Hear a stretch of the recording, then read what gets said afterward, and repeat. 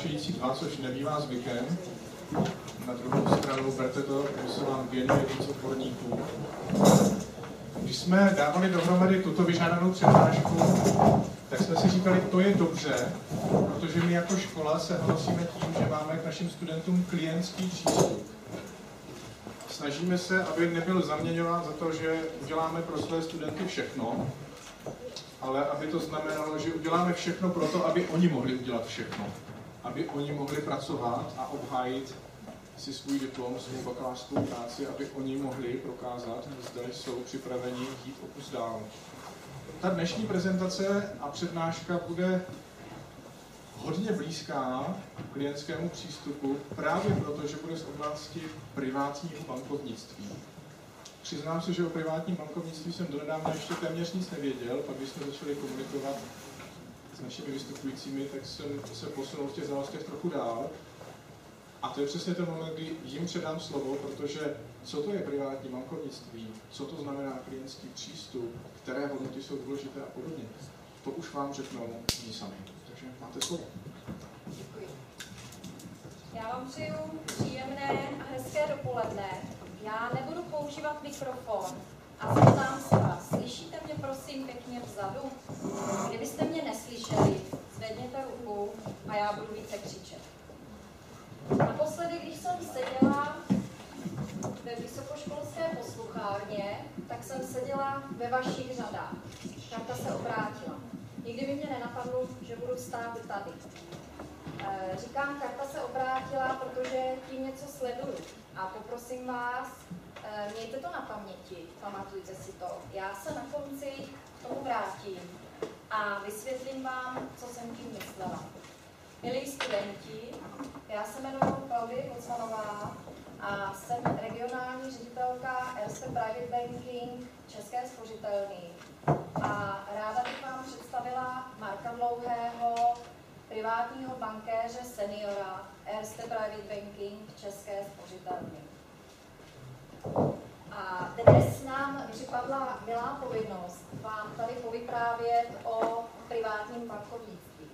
My bychom vám dneska rádi řekli eh, o tom, co je privátní bankovnictví a co je podstatou privátního bankovnictví. Finanční skupina S. Řekla bych, že teď si asi myslíte, no jo, bankéři. Nám tady budou vyprávět, jak jsou dobří, kde všude mají rozložené pobočky, kolik mají klientů, jak mají dobré hospodářské výsledky a jak se jim daří expandovat na trhu. Stop. Jestli teď jste měli v úmyslu přemýšlet nad tím, co si přečtete v mobilu, nebo co se vám zrovna bude honit ve vašich hlavách, tak vás poprosím, ještě se zastavte, protože tohle vám tady dneska povídat nebudeme.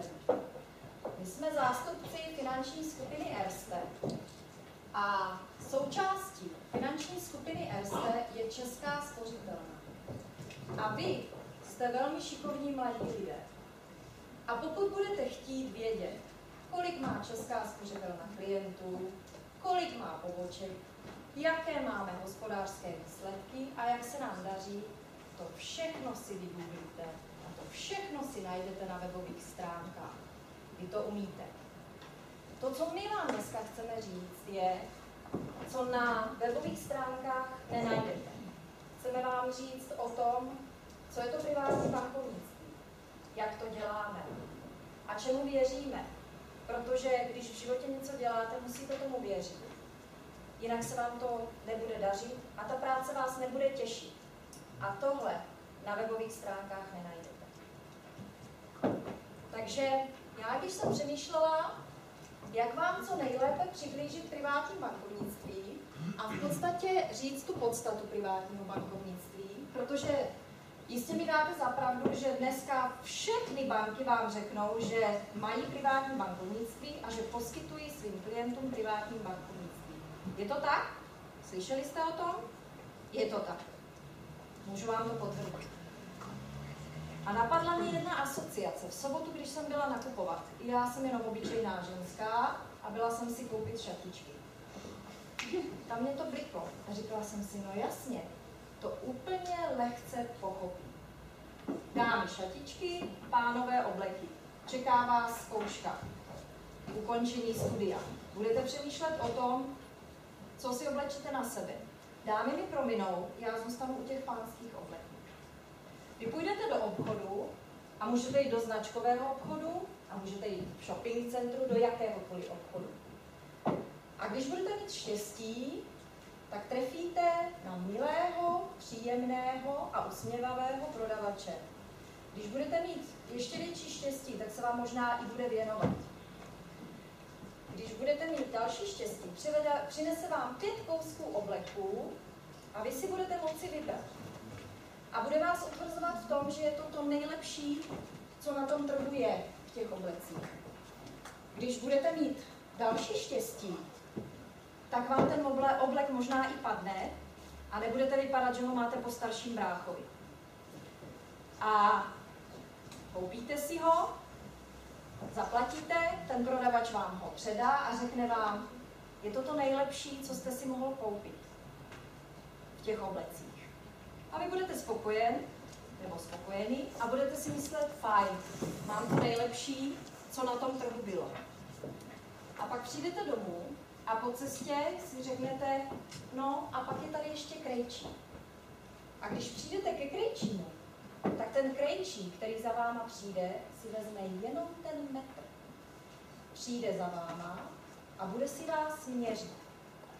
A bude s váma diskutovat. A bude se vás ptát. A vy si budete moci vybrat látku, kvalitu látky. Budete si moci vybrat kvalitu látky podle toho, kam ten oblek budete nosit. Jestli si ho vezmete jednou večer, nebo jestli ho budete nosit každý den do práce a pak to bude muset být kvalitnější látka. Máte možnost výběru, co vám bude vyhovovat. A budete si moct vybrat i tu počívku, protože i ta počívka je velmi důležitá a někdy nejdůležitější, aby vydržela něco. A ten krejčí si vás bude měřit a dál s váma bude diskutovat. A bude se vás ptát, jaký chcete střih toho obleku. Sportovní, elegantní, společenský, frak. To všechno si budete moct vybrat.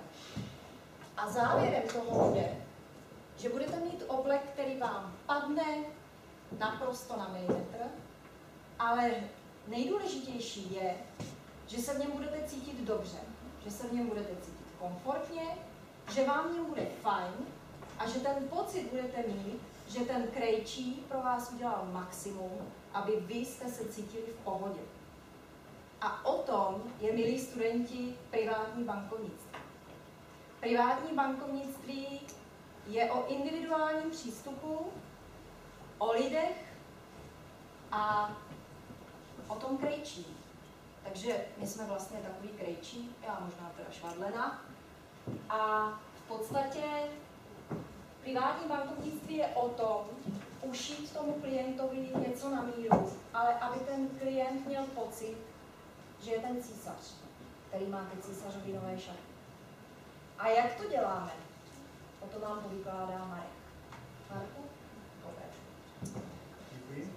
Já teda taky nebudu používat mikrofon, takže poprosím, kdybych náhodou nebyl slyšet, tak, tak zvedněte ruku. Zároveň bych si velmi vážil toho, kdyby vás napadlo cokoliv v průběhu toho, co tady budu říkat já nebo Klaudie, tak zvedněte ruku, ptejte se nás, protože uh, pro mě je nejdůležitější jako být prezentaci interaktivní, že se něco odpovídá a, a ty si odnesli prostě jenom, jenom část toho. A já tě ještě doplním, než se nadechneš. Dali jsme vám možnost volby, protože i já nerada jsem postavená před hotovou věc a mám ráda možnost volby. Takže buď to se přihlásíte jako plha a zeptáte se a my vám rádi zodpovíme a když nemáte chuť mluvit, nemusíte. Máte před sebou papíry, já si je v průběhu té, na toho našeho povídání vyberu a vaše dotazy vám rádi zodpovíte. Je to vaše chvíle. Můžete se ptát na cokoliv. Využijte toho maximálně ve svůj prospěch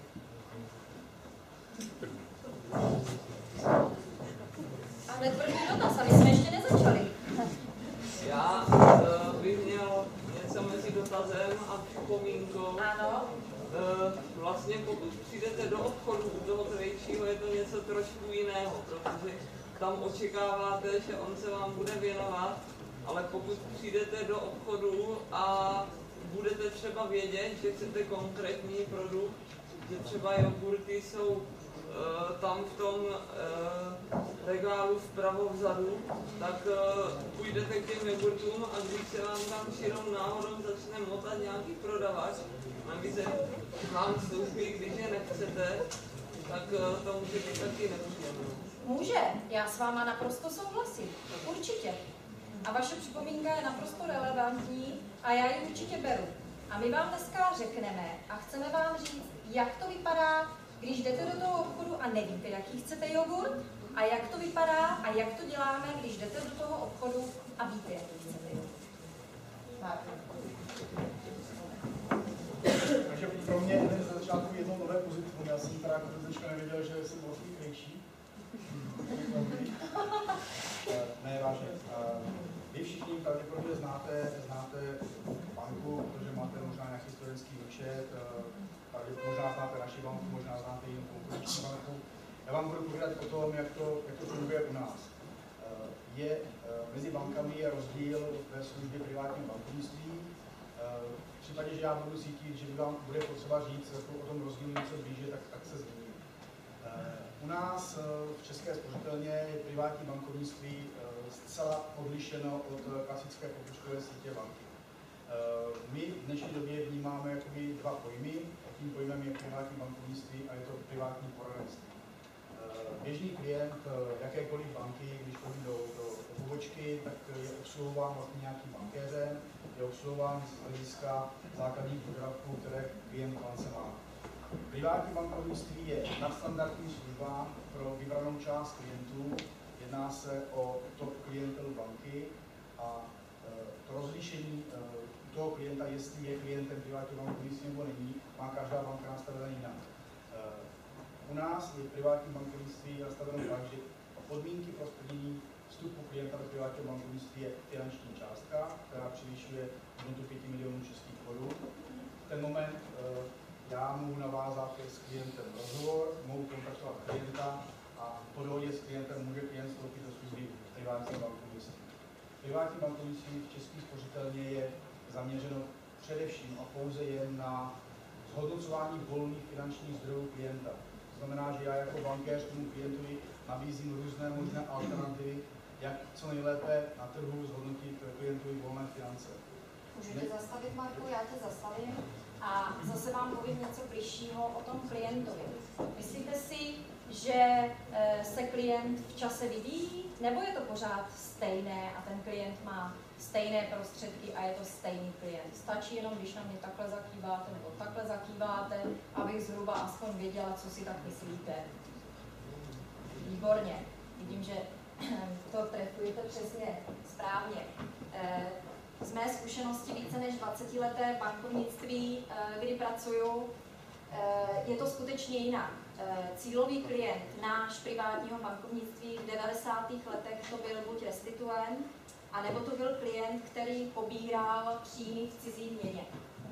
Dneska jsou to šikovní podnikatelé, možná jednou někdo z vás bude šikovný podnikatel a pokud si třeba nevyberete profesi privátního bankéře, třeba se stanete klientem privátního bankovnictví.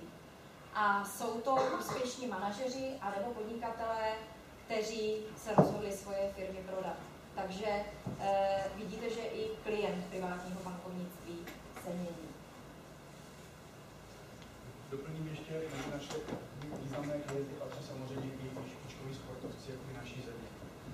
Uh, to, jak říkala Klaudie o vývoji toho klienta, samozřejmě mým posláním jako bankéře privátního bankovnictví je, je navazovat s klientem vztah, stát se jakoby součástí klient, klientovaru, klient, stát se součástí rodiny klienta a s tím souvisí i to, jak říkala Klaudie, že se snažíme s tím klientem vlastně pracovat pro počátku a snažit se klienta učit se pohybovat v rámci eh, banky a v rámci finančních trhů.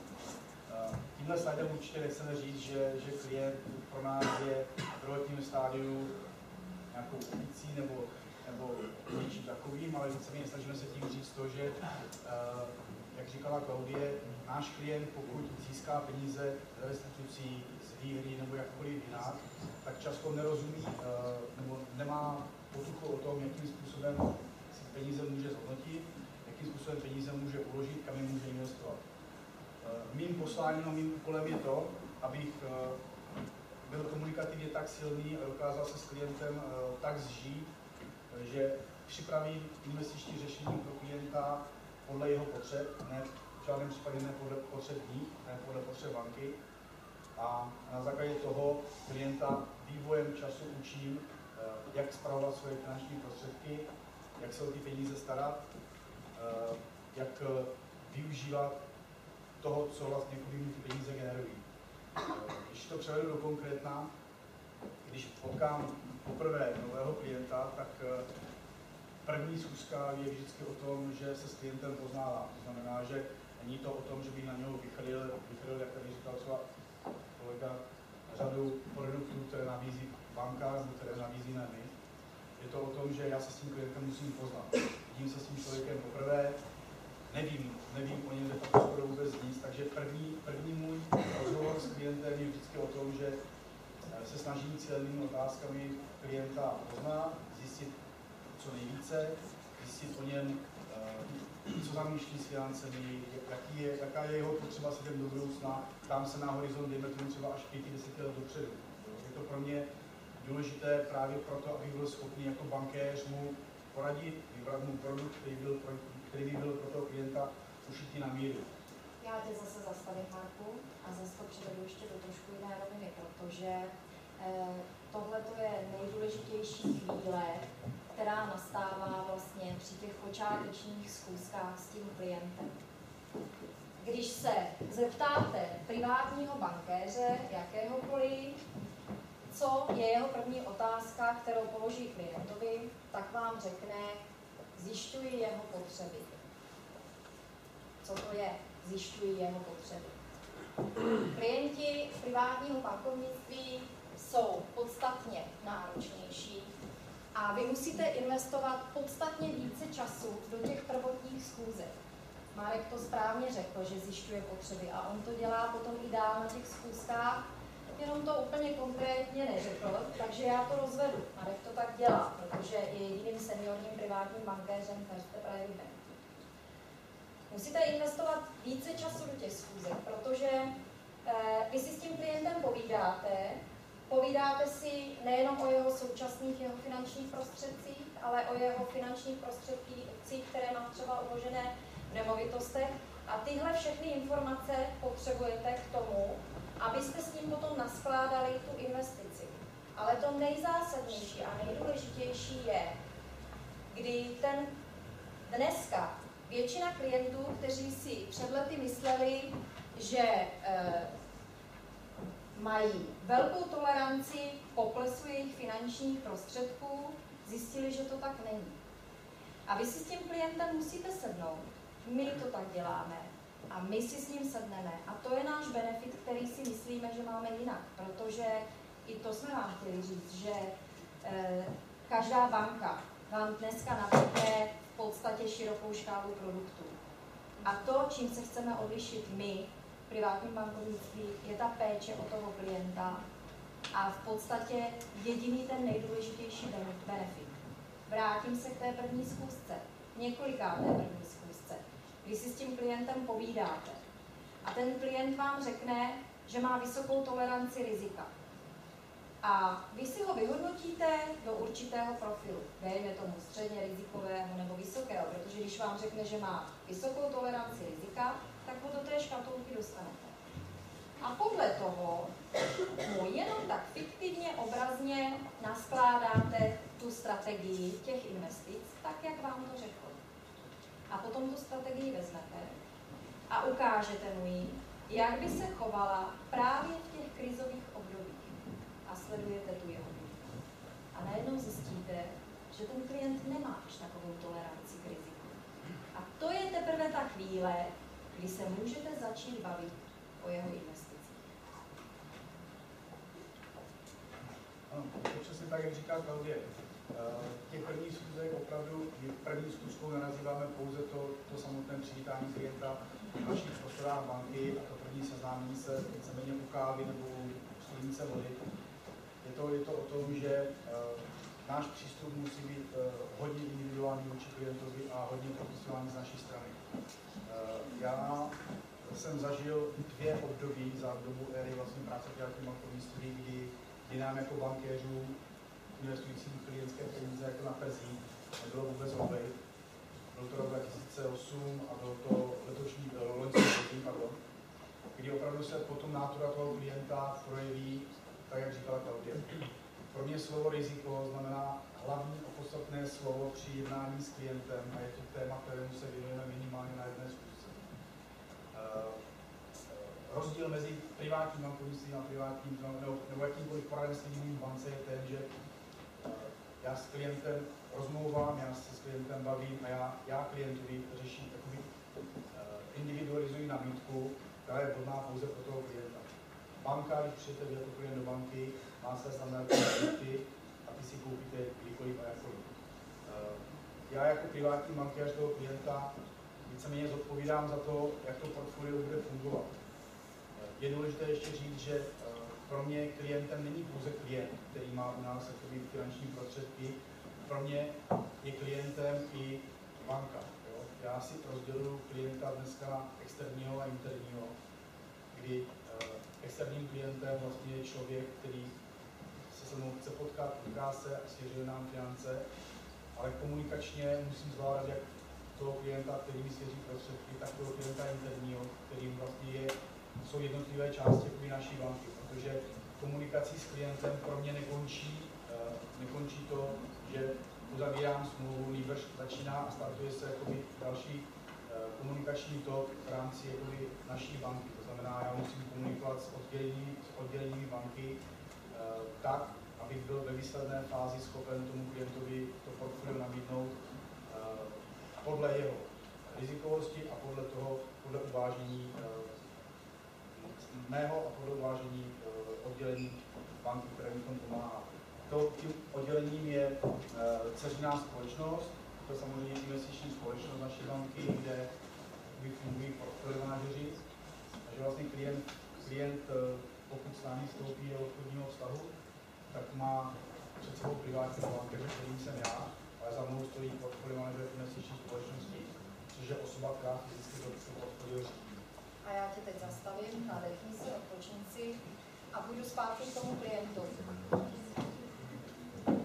My neslibujeme klientům, že s námi zbohatí, protože naši klienti už bohatí jsou.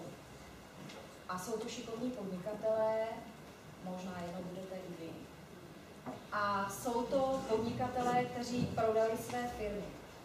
A naším úkolem je konzistentně udržet tu reálnou hodnotu těch finančních prostředků nad inflací toho klienta. Neslibujeme mu korektní zisky. Privátní bankovnictví není o nadměrných ziscích. Privátní bankovnictví je o vztahu s klientem, o individuálním přístupu ke klientovi a o zachování reálné hodnoty investic klienta nad míru inflace. O tom je privátní bankovnictví. Ono, slovo zachování reálné hodnoty v čase je, je pro mě jako pro bankéře eh, hrozně užitné. Jsem se zde zmínil, tak eh, zažil jsem si dvě období, kdy to pro mě nebylo vůbec jednoduché jako pro bankéra, myslím se, že to nikoli z mých pohledů. A eh, odrážka na slajdu se slovo neprodělat je, je vlastně to, co po nás klient chce. Víte, ono mnohdy, když já se potkám prvně s klientem a klient mi řekne, nebo já se ptám na klientovou představu o tom vlastně, co by ty peníze měly umět, tak standardní odpověď je garantovaný produkt do jednoho roku a 10% výnos. Jo, takže to je věc, kdy prostě si můžeme maximálně podat ruku a, a poděkovat si v případě, že bych reagoval jenom tak, jak bych nareagoval. Uh, mojí prací je to přesvědčit klienta, že uh, neprodělat je i mou hlavní vizí v rámci zprávy jeho financí a to, aby klient neprodělal, je, je, je o tom, že já si s ním musím nastavit nějakou časovou osu. Není možné, není možné se s klientem domluvit na, na produktech nebo na, na výtvorech naší finanční skupiny v rámci horizontu třeba pěti let a klient vám přitom sdělí, že peníze bude potřebovat do jednoho roku. Tam potom hrozí reálná šance, že opravdu jakoby, já ten, ten finanční trh nechytnu a, a klient odchází ze ztráty. Naším hlavním jakoby, výsadou, jak říkala Klaudie, je nepřinášet klientům uh, mega zisky. Uh, my chceme toho klienta uh, udržet nad inflací, chceme, mu ty peníze vydělávají, ať, ať překračujeme základní úroky, které vlastně nabízí banky a hlavně jde o to, aby ten klient získal prostě pocit jistoty, že peníze vložil do správné instituce. Partnera my pro klienta hledáme i partnery, my máme otevřenou architekturu, to znamená, že uh, nehrajeme si pouze na vlastní přístup. Myslím, že já, já nevyužívám jako bankéř pouze produkty, které nabízí naše finanční skupina. Já využívám i produktů, které nabízí třetí, strany. třetí, třetí strany. V našich uh, portfoliích se objevují produkty jiných bank, jiných finančních společností. A myslím, že to, co potom klient ve finále ocení, protože v době, kdy je finanční krize, klient panikaří, klient si hledá možnost něčeho, kde, kde má garantované a několikrát jsem se setkali s lidmi, kteří v rámci celé své rodiny se rozložili své investice po deseti bankách jenom z toho důvodu, aby si zachovali eh, výši pojištěného vkladu a měli podle jejich názoru klidné spadní.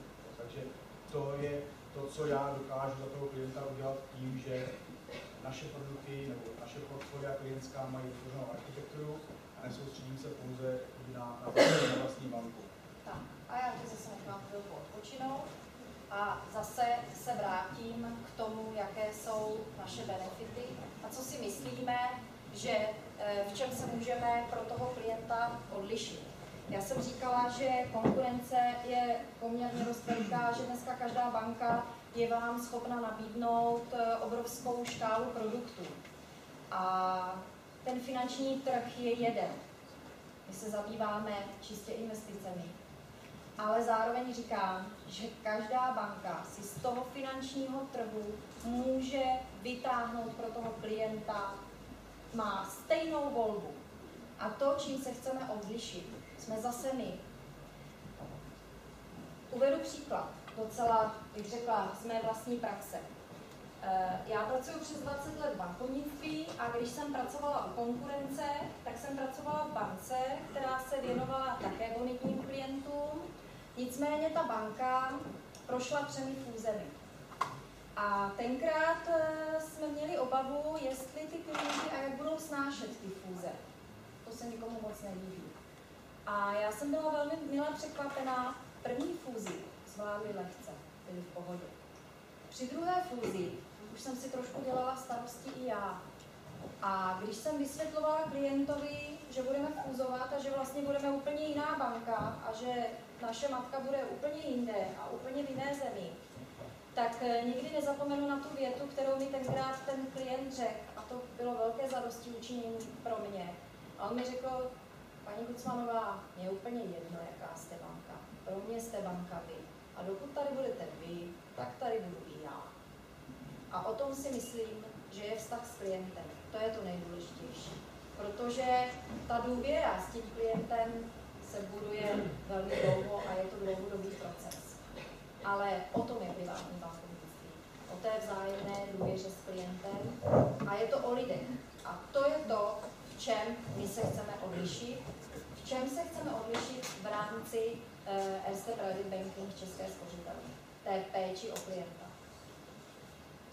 Já, já souhlasím, protože přesně říká Klaudie, eh, každá banka má, má tým specialistů, které, kteří vytváří produkty, eh, každá banka má svůj produktovou nabídku, je to hodně o vztahu bankéře a klienta.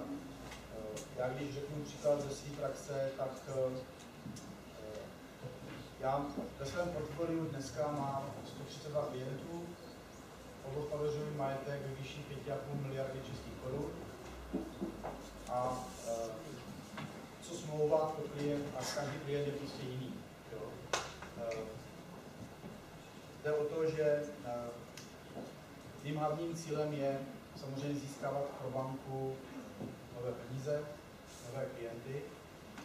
A ty nové klienty eh, získávám různým způsobem. Tím, že za námi stojí velká finanční skupina, jako je Česká spořitelná, tak ve fázi, kdy se privátní bankovnictví u nás rozjíždělo, tak jsem to měl trošku zjednodušené. Zjednodušené v tom, že každá banka samozřejmě disponuje databáze svých klientů a nestačilo si jen takhle vyzobávat ty klienty, bonitní klienty banky a přes jejich eh, osobní banky na pobočkách se kontaktovat a navazovat takhle takový svůj vztah. Dnes jsem v době, kdy po šestileté praxi v privátním bankovnictví jsou sestavy poboček čerpány a já musím vlastně být, musím na trh, ty klienty hledat, hledám je formou čtení, čtení e-mail, čtení jakoby eh, internetu, hledám je účastníci hospodářské komory tady v Olomouci, eh, chodím si s svými klienty na, na různá společenské akce, kde jsem představován jako dalším klientům.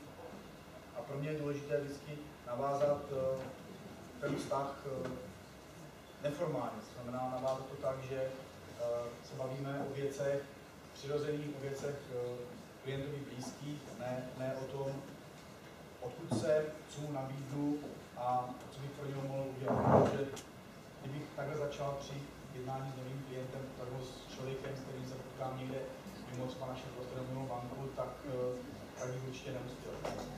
Klaudie dobře řekla, že my jsme všichni jako na jednom poli. Ten finanční trh je opravdu jenom jeden.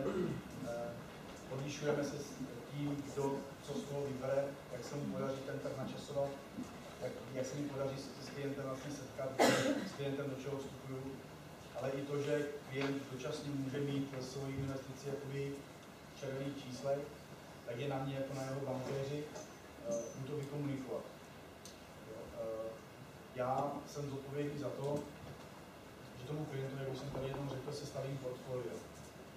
To portfolio může být různý. Může to být portfolio, které obsahuje akcie, dluhopisy, to, to vám tady nebudu říkat, těch, těch variant je několik. Nicméně já si musím stát pevně za tím, že to nejlepší jsem pro toho klienta vybral. Jak jsem zde předtím, než mě Klaudie přerušila, mluvil o interním a externím klientovi, tak se dostávám do fáze, kdy potřebuji, potřebuji mít toho partnera, který vlastně v tom stavení pomůže. Pro mě to je portfolio manager. To je člověk, který vlastně vybírá ty produkty tomu klientovi do zprávy a s ním já komunikuju ve smyslu, ale ten klient je takový, má takové takové potřeby, najdi mi něco, co by bylo pro klienta vhodné na trhu. Takže my spolu ladíme to portfolio a v momentě, kdy to máme slazené, tak představujeme klientovi portfolio. Klient musí věřit mě, já musím věřit portfolio manažerovi a tím pádem uzavřu, uzavřu tenhle trouhelník. Vy jste možná z eh, oboru finance zvyklí na magický trouhelník u investic, riziko, likvidita, výnos. Pro mě je magickým trouhelníkem tohle. Klient, bankéř, portfolio manažer a propojená důvěra. V momentě, kdy já nevěřím portfolio manažerovi, tak v životě neprodám klientovi službu, kterou on mi zaštítí. Jo, takže uh, ta, ta, ten uzavřený kruh potom je o tom, že eh, komunikačně musím jednak s klientem, kde jakou změnu komunikovat, a naopak já musím být informovat o tom, co dělá portfolio manažer, abych to tomu klientovi byl schopný přednést.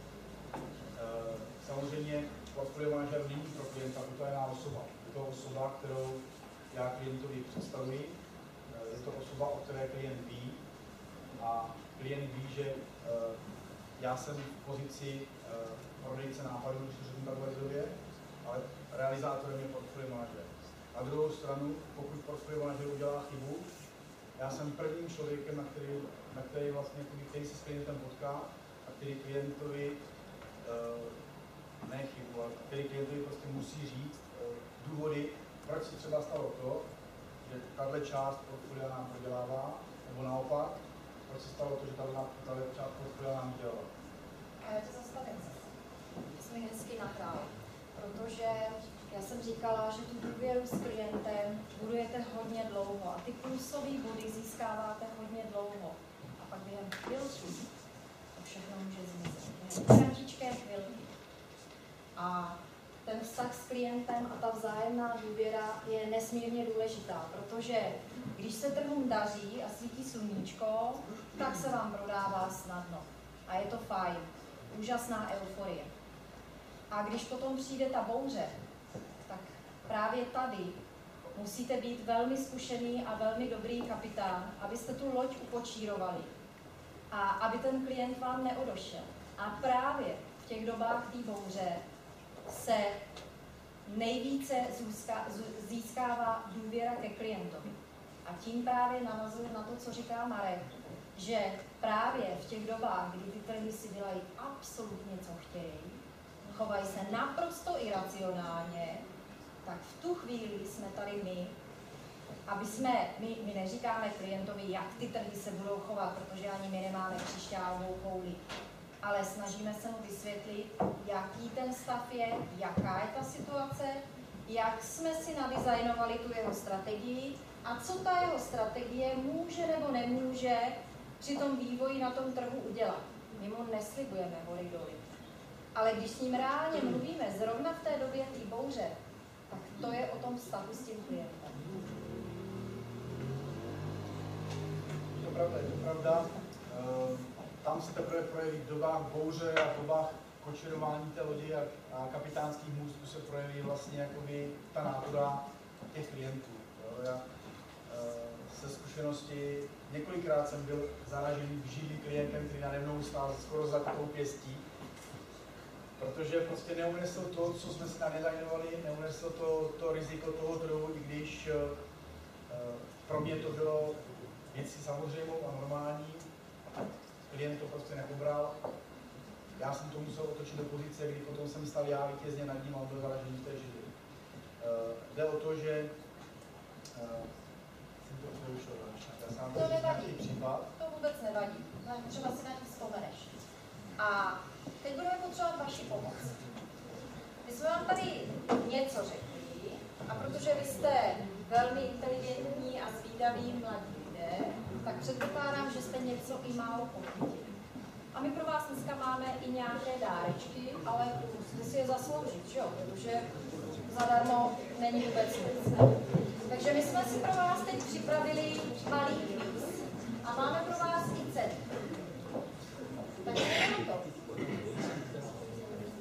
E, já vás poprosím, Davide, pojďte nám pomoct dělat po roce, protože oni, když začnou vykřikovat, já nebudu vědět, komu tu cenu mám dát.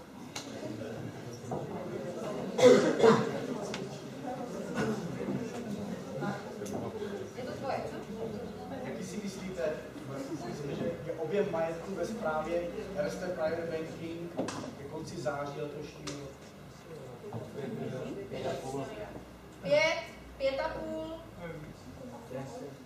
Zavolejte hodně, silně, ať vás, ať vás vidím. Tak 15, 25.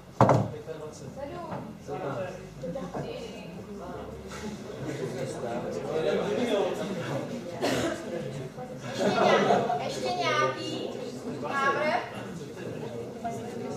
Kdo řekl 30? Takže v je to dnešní dní 42 miliard a byl jste nejblíž. Tamhle vedle té krásné dámy u okna. Těch 5,5 to bylo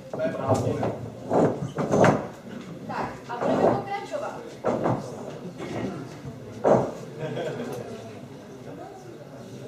A jestli jste byl nejpozornější, tak už ceny. Kolik myslíte, že využívá službu Erste Private Banking klientů v České spořitelně? A prosím pěkně hlasitě. 12, 15. Ještě nějaký? Tip. Nemůžete, nemůžete ztratit, tím typem nemůžete ztratit, jenom získat. se dostaneme. Ještě.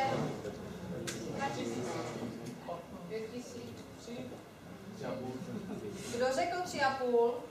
Výborně, jsou. Modré. Je to k dnešnímu dni 3392 klientů. Přihlásíte se? Tak. A budeme pokračovat. Jít.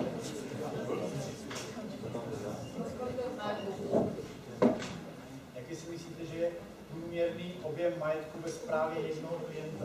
My jsme vám řekli, kolik musí mít klient peněz aby se stal klientem Erste Private Bank? Odpovídáš to. Ztrácí.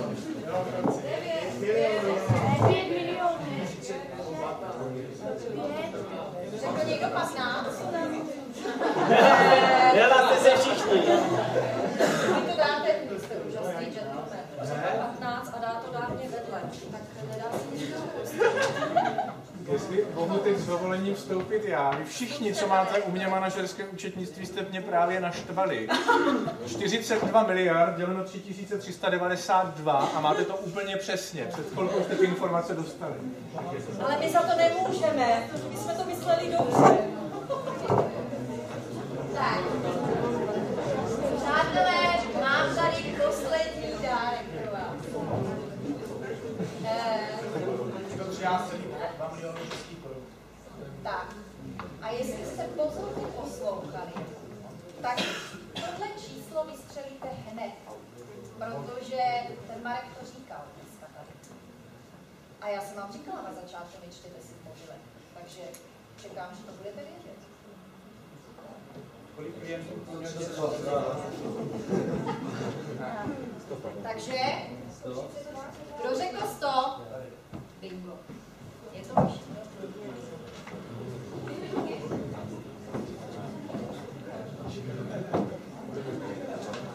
Tak, takže jenom si to shrneme. Já jsem na začátku říkala, že žádná čísla, ale něco malinko přece jenom uh, si shrneme. Takže objem majetku ve správě jakoby jasně banking je 42 miliard korun. Eh, Službu jasně private banking využívá ke konci září 3392 klientů. Průměrný objem 13,2 milionů českých korun.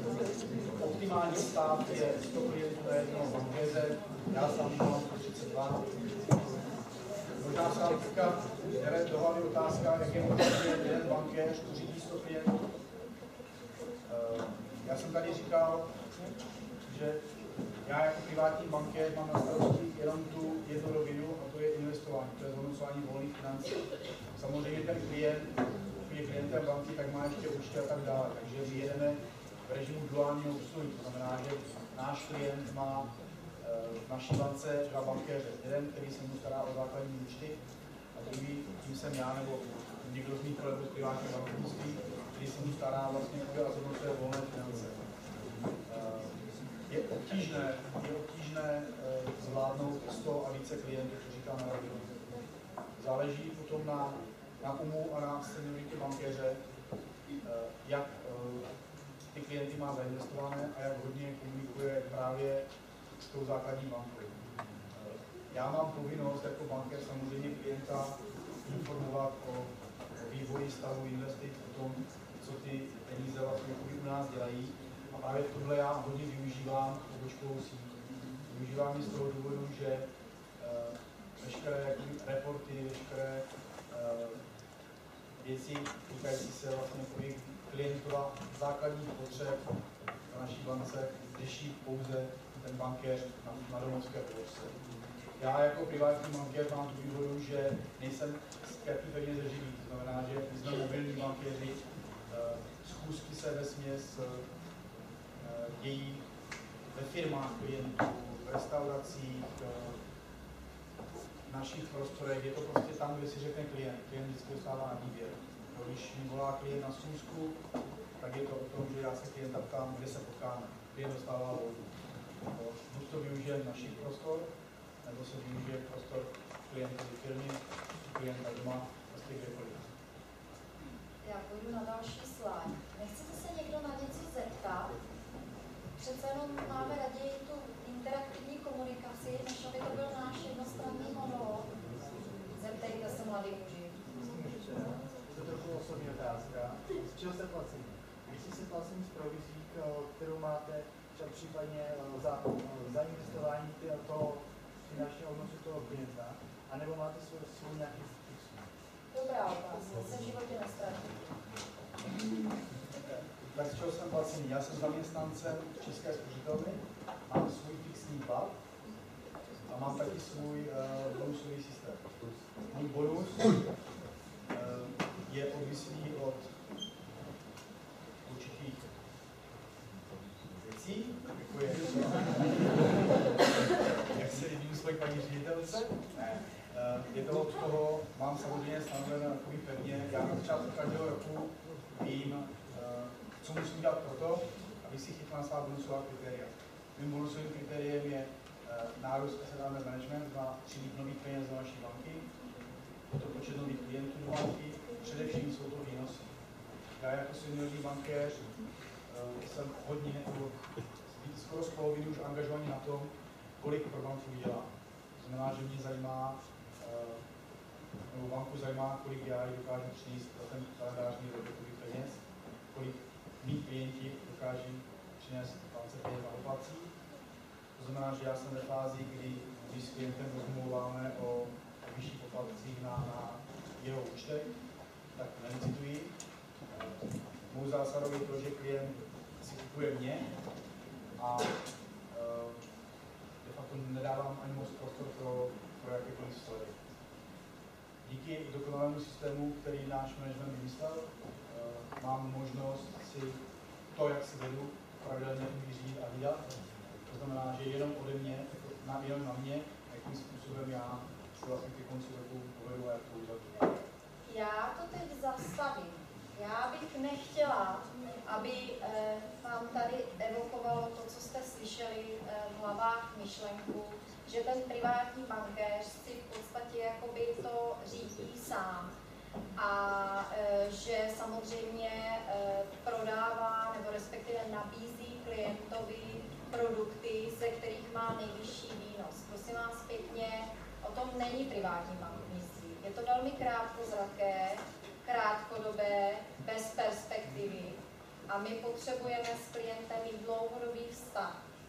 Víte, co je snem každého privátního bankéře? Co si myslíte, že je snem každého privátního bankéře? Dneska to tady zaznělo, já už nemám pro vás cenu, ale zkuste mi to prosím říct. Řeknete mi to někdo? Dobře, nebudu vás trápit, já vám to řeknu sama. Snem privátního bankéře každého je stát se členem širší rodiny klientovi a rodiny a přátel. Tak, jak funguje v zahraničí rodinný lékař, notář, právník, to je naším snem. A Marek to takto nastaveno s některýma klientama má. Tak povyprávěj studentům o tom, jak to s nima děláš a tam s nima chodíš pracovní době.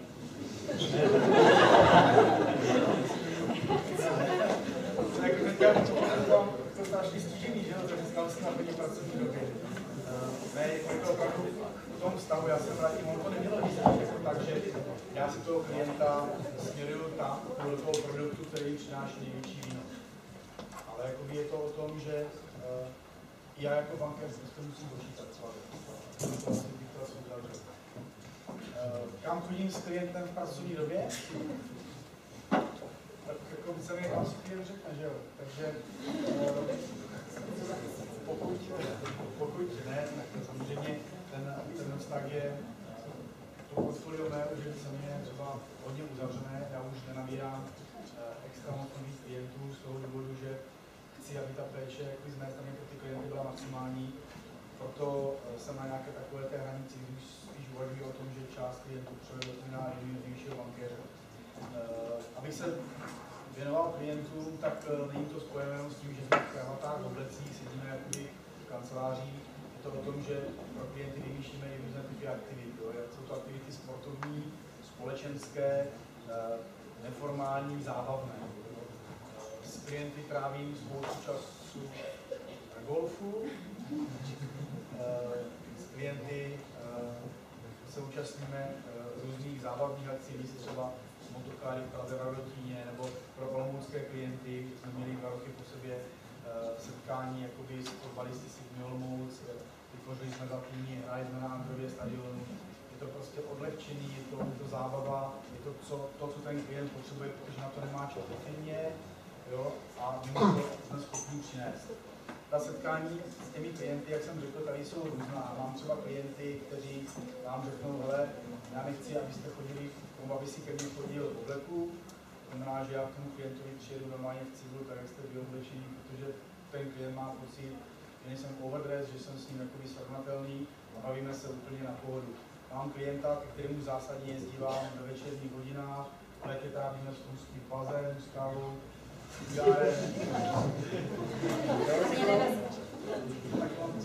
Takže to jsou, to jsou jako, je, to, je to hodně individuální. Na druhou stranu mám třeba klienty, kteří, máte horko, jsou 40 vedra, nějaký náš etický kodex ukládá povinnost být oblečen tak, jak se zná košile, dlouhý rukáv, sakou, kalhoty, boty. Přijedete za klientem, který tam sedí v žabkách, v šortkách a s úsměvem řekne, tak tohle jsem si 20 let už jakoby protrpěli i já, být v holku v obleku zapnutý, tak se tam rozvalí v těch vlastně šlotkách, že jo, nechal tam. Ty akce my pro ty tréninku pořádáme vlastně jasně s, v rámci celé republiky. Jsme tady možná nevěděli, že to privátní bankovnictví eh, naše je i o tom, že jsme těm klientům blíž, jako eh, jedna z mála bank máme pracoviště, která jsou i v regionu.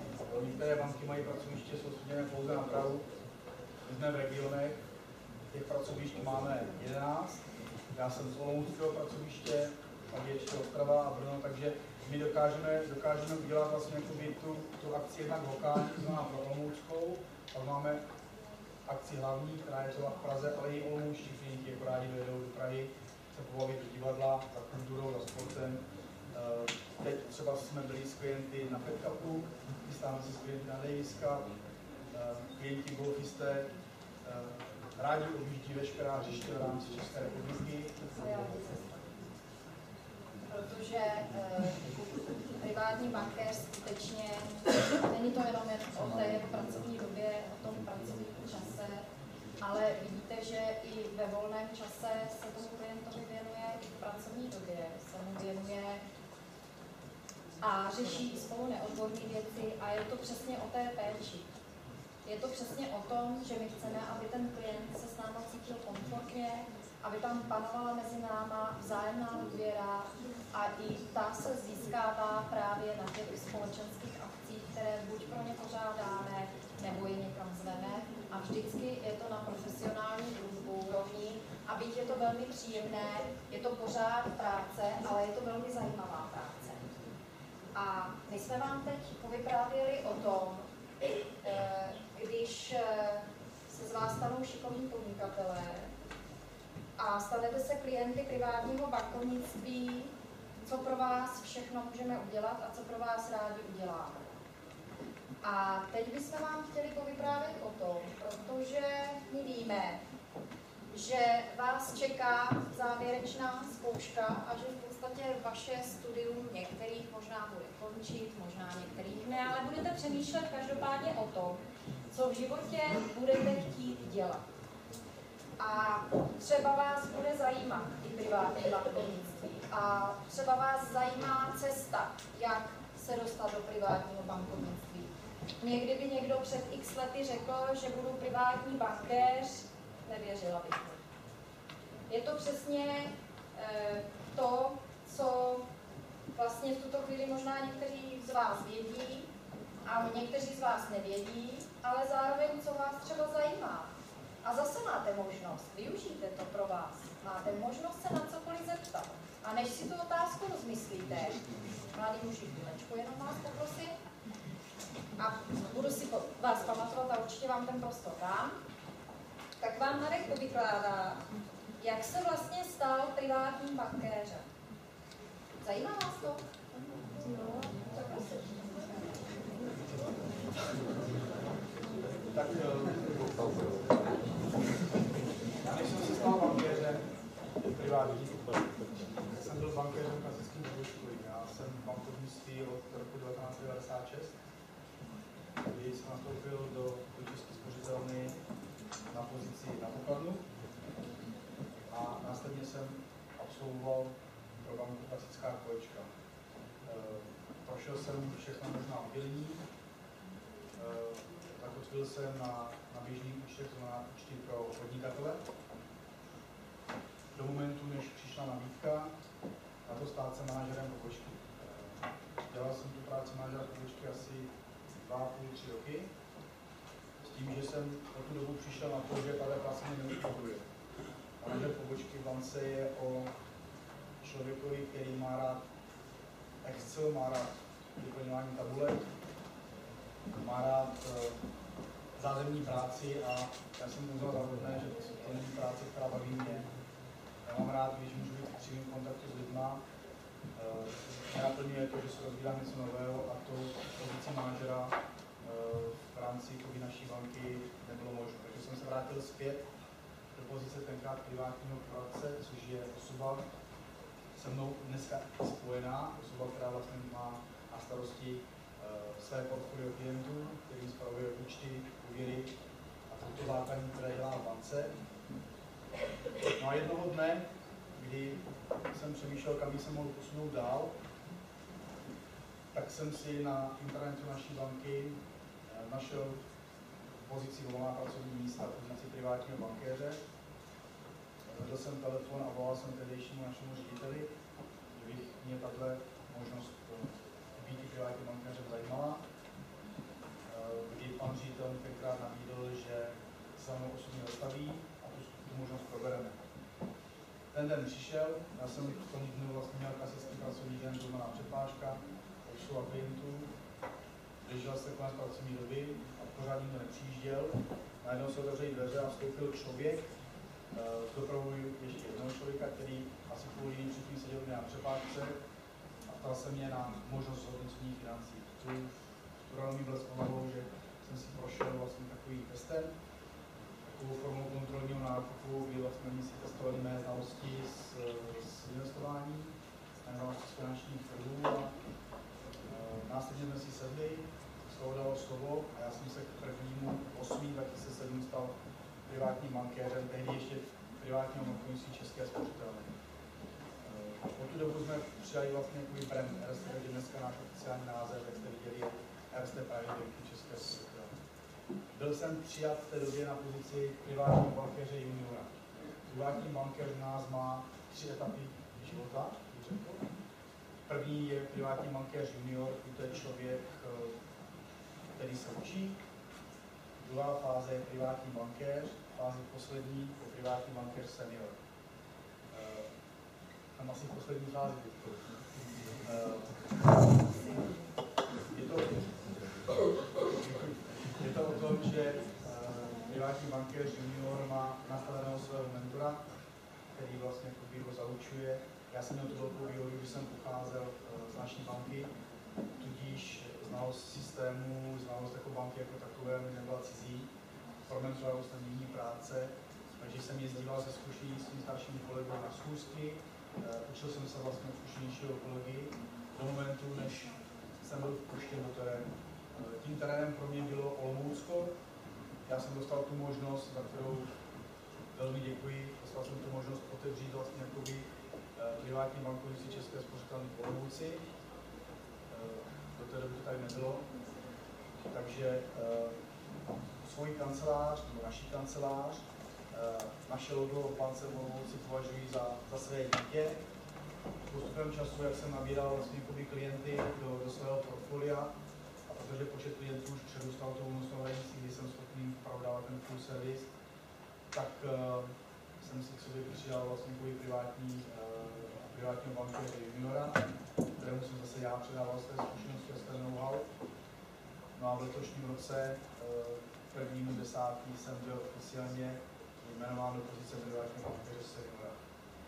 Uh, ten privátní, tam, tam ta moje cesta ta moje cesta byla úžasná v tom, že uh, tím, že já jsem dostal tu možnost vlastně otevřít to tady jako první, tak ten region vlastně, vlastně byl jenom pro mě a uh, ten můj nástup byl téměř raketový. Uh, v naší bance existuje způsob jakoby ocenění zaměstnance za nějaký možná mimořádný počin pro banku a tak dále. Já jsem v roce 2008 získal cenu za České spořitelny, kdy jsem v rámci jednoho roku uh, nabral do portfolia asi 750 milionů nových korun pro naši banku. Bylo to z důvodu uh, prodeje některých firm tady v regionu. A to mi katapultovalo i z pozice juniora a toho privátního bankéře, na které se trvalo bych možná dala prostor teď mladému muži. Na co se jste se chtěl zeptat, Marka? Já jsem se chtěl zeptat, eh, co se týče těch, eh, když jsme začali u těch obleků, tak já u nich stále zůstanu, tak když vy eh, přijdete eh, do nějakého eh, obchodu, kde jak se dá objednat oblek na míru, tak nějaké ty konfekční obleky. A oni vám řeknou vlastně, že um, ty obleky na míru šijí jenom z hedvábných látek a zlatou nití a že a e, ty e, konfekční obleky, e, že mají jenom nějaké omezené pale, velikostní paletě, tak jestli by třeba nebylo dobré něco mezi tím, něco... Víte, mladí muži, mezi tím něco je.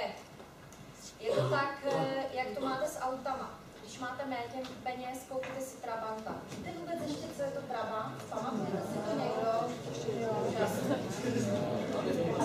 Super. Když máte trošku víc peněz, koupíte si oktávku a když máte ještě více peněz, máte Mercedesa. Takhle to funguje i v tom bankovnictví. Eh, já bych vám, milí studenti, chtěla závěrem říct tři zásadní poselství, které jsme vám dneska chtěli říct. A teprve až po těch poselstvích ještě vám dám prostor na dotazy. Takže jestli ještě vás nějaký dotaz napadl, tak to prosím pěkně ještě pamatujte, protože určitě každopádně eh, na dotazy prostor ještě bude. Eh, my jsme vám dneska chtěli říct tři nejdůležitější myšlenky a nejdůležitější v podstatě eh, zásady, které dodržujeme. Chtěli jsme vám říct, že eh, privátní bankovnictví je o lidech, že banka jsem já a že ta důvěra s tím klientem je nesmírně důležitá a je to dlouhodobý proces, který ale během pár vteřin může být pryč a že si toho nesmírně vážíme a tak s klienty pracujeme. Chtěli jsme vám eh, říct dneska, že eh, v podstatě a teď jsem se zasekla. A už vím, že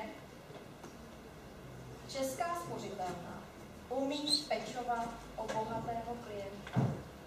Já jsem toho zdárným příkladem. Nejsem bohatá, chodím do práce. Ale když jsem pracovala v bance, která pečovala o bonitní klienty, oslovila mě Česká spořitelna. Mnozí mě dáte za pravdu, že Česká spořitelná je v podvědomí dneska jako banka pro drobné střadatele, jako retailová banka. A tak to je. Ale že v České spořitelně existuje útvar Erste Private Banking, který umí pečovat o bohaté klienty, to málo kdo ví. Ani já jsem to nevěděla. Když mě oslovila Česká spořitelná, první, co jsem si říkala, je Ježíš spořka, co tam budu dělat, budu obsluhovat důchodce. Tak to je, to jsem si přesně řekla. Ale protože já jsem člověk zvídavý, tak jsem se začala zajímat, co všechno Česká spořitelna nabízí a co všechno umí tomu klientovi nabídnout právě díky té silné matce a finanční skupině Erste, která za ní stojí.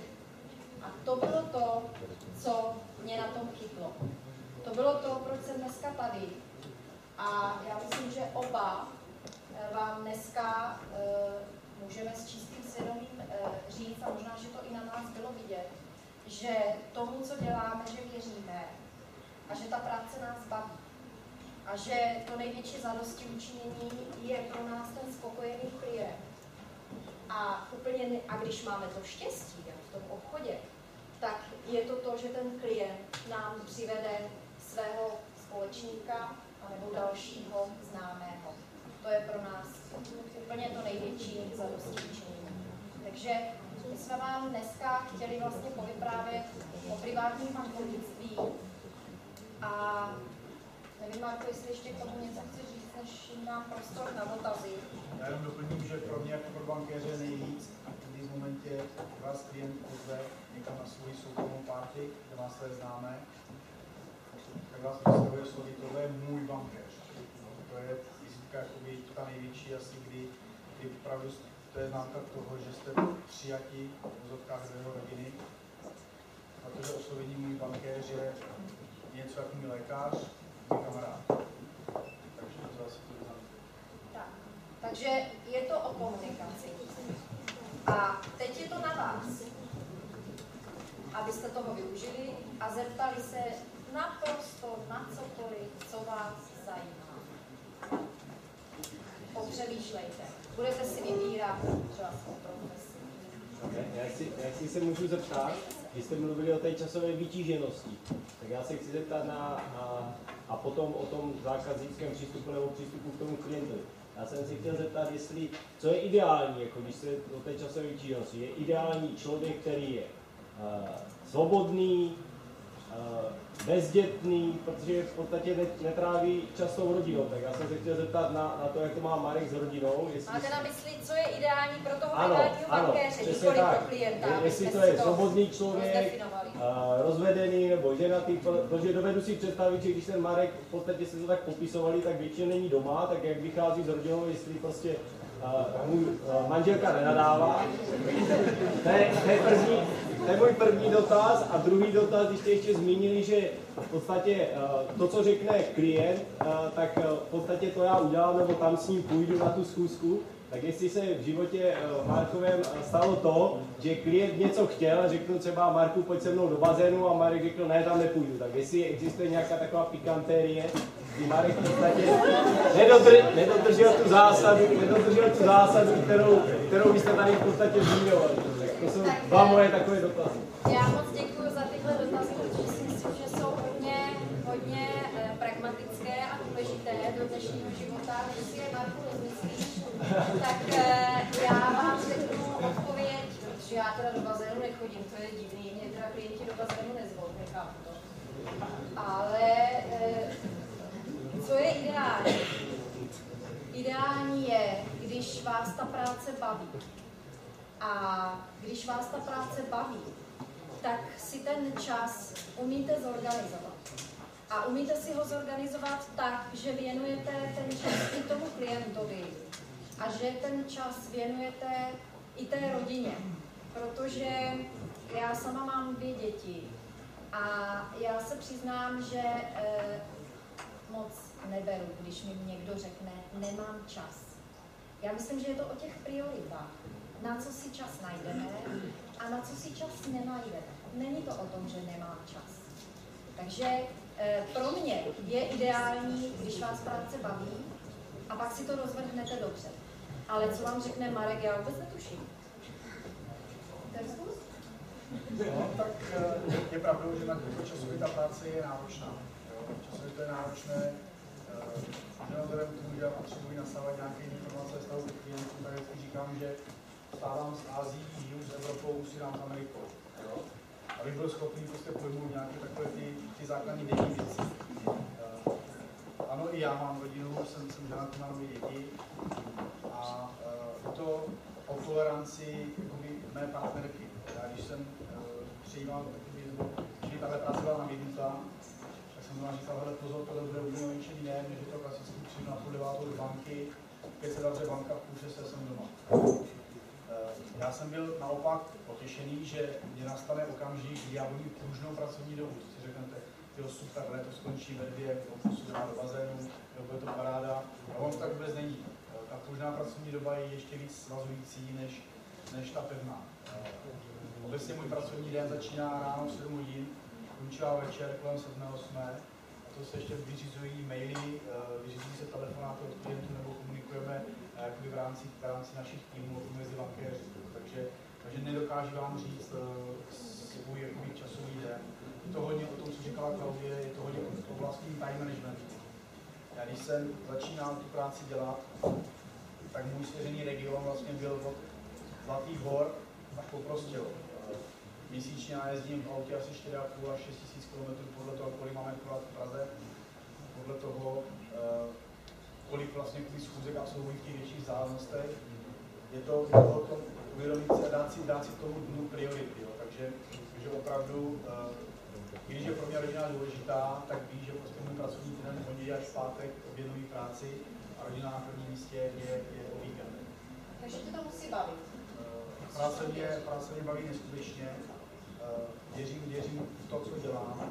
A když řeknu, že jsem trošku lhal, ale protože já jsem řekl, že rodina o víkendech a minulý týden jsem byl s klientama o víkendu na trpka. To se někdy stává. Je to, i, je to i o těch, o těch víkendech, jo. Je to i o tom, že uh, to vás klient pozve, nebo my klienty zveme na takové ty akce, a potom samozřejmě fungujeme jako doprovod klienta. Uh, Já se zase zastavím, protože samozřejmě dodám čas a Martin z režie si žádný ještě není, ale musíme to mít pod kontrolou. Každý ten den toho privátního bankéře je jiný. Nejsou dva dny stejné po sobě. Je to práce velmi zajímavá, někdy i stresující, ale myslím si, že přínosná pro obě strany. Jak pro toho klienta, tak pro toho bankéře.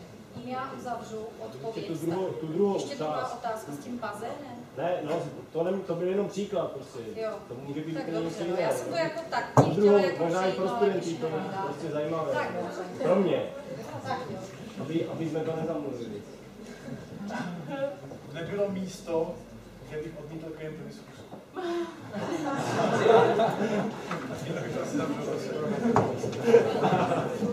Tak, Jako ty místa jsou různá, já si říkám, třeba tady trošku míří, eh, de facto. Máte ještě někdo nějaký dotaz? Mě by zajímala reakce člověka, vašeho klienta. Jakým způsobem s ním musíte vykomunikovat eh, to, že už nebudete dál se starat vy jako nejlepší v bance o, o jeho portfolio, ale předáváte ho někomu, kdo ještě s tím nemá žádné zkušenosti, je to junior, a, který vlastně se, jak se sám říká, zaučuje. Jakým způsobem dokážete klientovi říci, že už pro něho nej, jako kdyby vy nejste ten, ten, který bude spravovat jeho finance, ale dáte ho na nižší pozici. tak eh, je to o tom, že eh, to předání nemůže být pouze fiktivní, to znamená, nemůže být v rámci systému banky. Já bych to opět takový neviděl. Jde o to, že eh, já se s tím milým bankéřem domluvím na, na, na klientech, kterému předám a klienti osobně s tím bankéřem navštíví. Tomu klientovi je sdělován důvod a jedna, eh, profesionální péče, to znamená, to množství klientů oproti jakoby optimální množství klientů. A dva, eh, to, že eh, například rozdělení regionu. Jo, Já, když eh, každý z bankéřů je zodpovědný za jeden region. V momentě, kdy nás je bankéřů v rámci jednoho regionu více, tak dojde k férovému přerozdělení regionu a eh, ten klient, který je předá, tak je většinou spjat s tím regionem, kam nastupuje ten nový bankéř. Takže to je jediný a hlavní důvod, proč dochází předání toho klienta. Já jsem umné nezbavuji klientů, ale pokud já už cítím prostě potřebu nebo eh, naplněnost svého profilu takovou, že opravdu je to mi neúnosné vzít více do klientů, tak eh, ten druhý bankér vlastně sdílí s ním část regionu, takže ten důvod předání klienta je regionálního charakteru. A já to zase ještě vysvětlím z pohledu toho klienta. Pro Marka je to neúnosné, ale je to na úkor toho klienta a na úkor té péče od toho klienta. To znamená, že když to portfolio mu nabíde a už by se nemohl tomu klientovi věnovat tak, jak by chtěl a jakou si ten klient zaslouží péči, tak mu to takhle hezky teple lidsky vysvětlíme a ti klienti to většinou akceptují, protože my nikam neodcházíme a i když třeba jsme někde na nějakých společenských akcích, tak se s nima pořád potkáváme. Ten Marek se s nima pozdraví a zeptá se, kdo se má zeptat, jak se máte. Takže pořád ten kontakt tam je. Stačí vám tato odpověď? Máte ještě někdo nějaký dotaz, prosím pěkně, poslední? Raz, dva, tři. Ano, pane rektore? Já bych jeden měl, vy jste říkal, že nebylo místa, kde byste odmítnul. Je, Podle mě, podle mě byla odpověď téměř na potlesk, tak se zkusím zeptat o vinu. A existuje důvod, proč vůbec odmítnout klienta? Je nějaký klient, kterého privátní bankéř prostě nepřijme? Ano, je. Podivu to je klient, který třeba má majetek deset, desítkách milionů korun, ale je to majetek, který je, když to řeknu svým dočasný, to znamená, že klient chce eh, být eh, tvým klientem pouze krátkou dobu, to znamená, že jeho horizont pro zprávu financí je kratší dobu jednoho roku. V tomhle případě eh, takového klienta já si eh, nemohu vzít do svého portfolia, protože bych nebyl schopen mu dát ten nejlepší servis v rámci privátního bankovnictví. A protože my neslibujeme klientovi to, co neumíme, tak mu neumíme ani nabídnout takový produkt, který by měl na tak krátkou dobu. Pro nás je důležitá stabilita dlouhodobý růst klienta a dlouhodobý vztah. To je pro nás velmi krátká doba a tam hned na začátku tomu klientovi řekneme, že tohle neumíme. My nebudeme slibovat klientovi to, co neumíme, protože eh, to, co děláme, my neříkáme, že jsme nejlepší na trhu, ale věříme tomu a děláme to s dobrým přesvědčením. Tak, já už tady slyším různé švitoření, tak eh, já myslím, že čas se naplnil, že už to určitě všichni hlad. Milí studenti, my vám děkujeme, že jste nám věnovali vaši pozornost. Já vám přeju, abyste úspěšně zakončili studium a přeju vám buď, abyste se dobře rozhodli a přeju vám hodně úspěchů ve vaší životní i profesní dráze, a nebo vám přeju, abyste se stali klienty privátního bankovnictví. Mějte se hezky.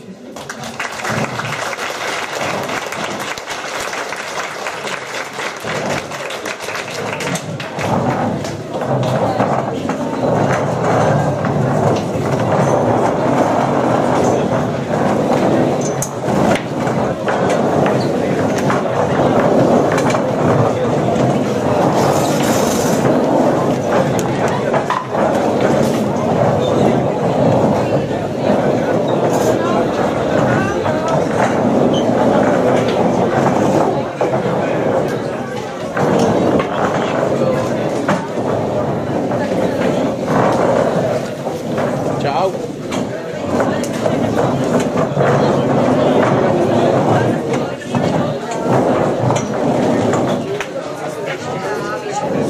No to se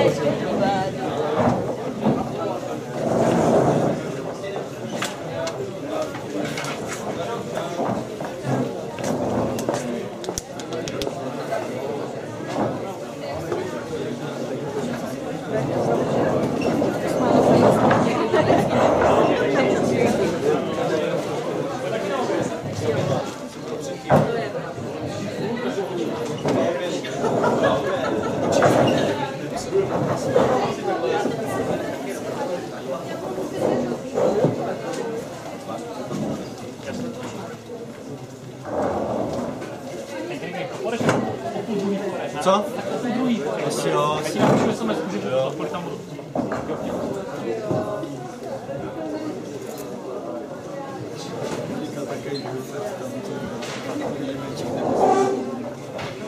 Co?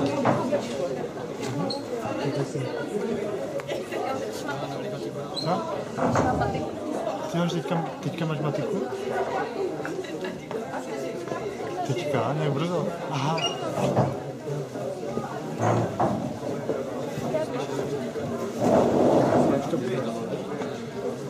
Takže jak teďka se baví o dospělí.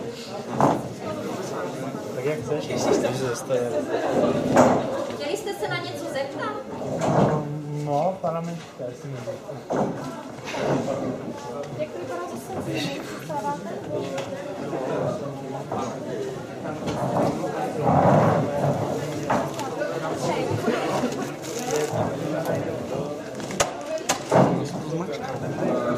Zatím ne.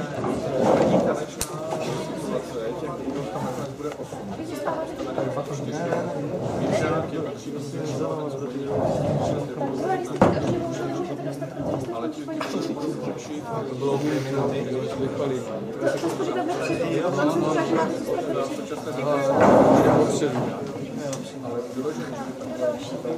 Vy máte všichni lístečky, kolega už má, vy máte zelené lístečky, nemáte? Tak, zelené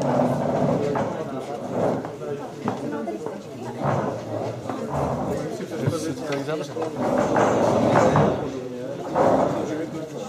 Když tam dáte nějaký stál, tam máme čerstvý a dobrý, bylo do dvě byste to právě je to taky jak to Myslím, když to bude klapat, to říká, že příští krok je může být, že si pronajmete 300 těch budoucích to Že chápu to tak, že vy z toho nejste naštvaný, ale naopak to chápete jako tím na trhu, jo? To si budete muset domluvit s majitelem což je regionální To patří to zase do té skupiny. Ale neumím si představit, co v tom areálu, jestli by se na to situaci a to se dá taky vyřešit